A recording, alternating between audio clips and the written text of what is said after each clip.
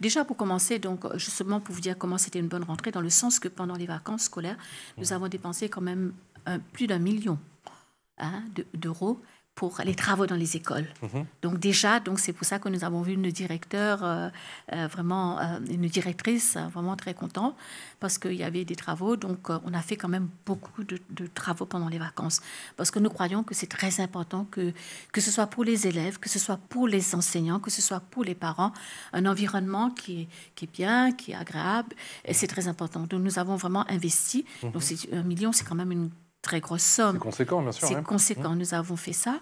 Et puis, nous avons nos projets pour le Val-Forêt. Donc, c'est-à-dire que la politique du maire, c'est qu'il a, il a voulu qu'au niveau de la cité éducative, justement, comme vous l'avez bien dit, nous sommes la deuxième plus grande parce que, vu la population scolaire que nous avons, mmh. donc, euh, de, de, la France, après Argenteuil, donc, euh, avec euh, toute la communauté que nous avons d'élèves.